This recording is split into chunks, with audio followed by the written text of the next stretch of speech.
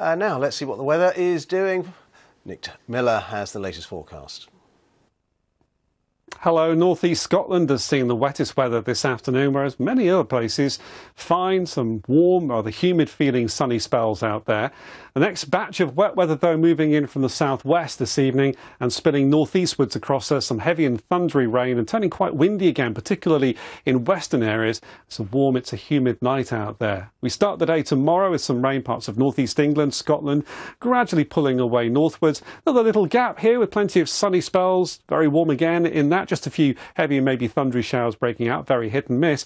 Another batch of downpours, though, reaching in towards southwest England and Wales as the afternoon goes on, as it turns windy once again here. All of that feeding northwards overnight and into Tuesday morning. Here you can see it pushing into Northern Ireland, for example, during Monday evening.